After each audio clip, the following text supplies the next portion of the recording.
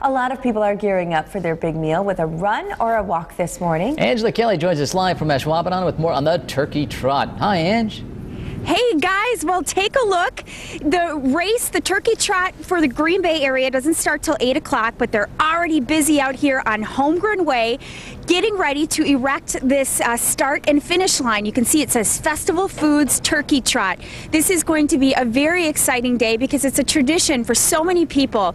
Executive Director of the Turkey Trot is here with us. Uh, Sean Ryan, good morning. Good morning to you. Happy Thanksgiving. You too. Happy Thanksgiving. Let's start with the fact that there are five different turkey trot races all around Northeast Wisconsin. How many people have signed up to participate? We have approximately 20,000 in five communities right now. In Green Bay alone, right now, we have 7,500 pre-registered, and we're probably going to have somewhere upwards of a thousand people register this morning.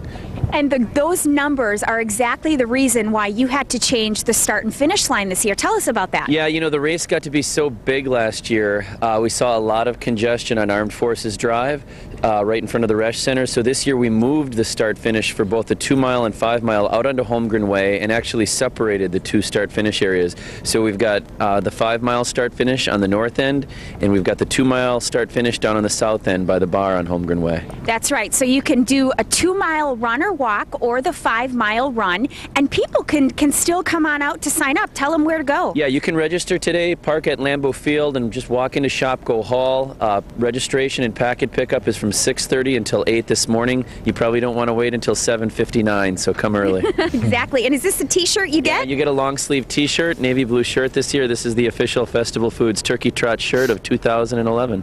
And we can't forget one of the best parts that we also get. Oh, you also get a pumpkin pie at the finish. Every finisher receives a Festival Foods 5 inch upper crust pumpkin pie. Fantastic. I'm so excited. We're going to be live out here all morning as uh, people start to kind of move in. I think we might head out by Shopko Hall as people start to register. Um, but I'll tell you what, you guys, I'm literally right outside our driveway. So if you feel like the need to maybe bring me a hot cup of coffee or something, you certainly can. Oh, all right. Well, we're just thinking Okay. about that. I'm actually not feeling it. You're not? No. We're thinking about it, I said. So, No. Rachel, come on. Just teasing.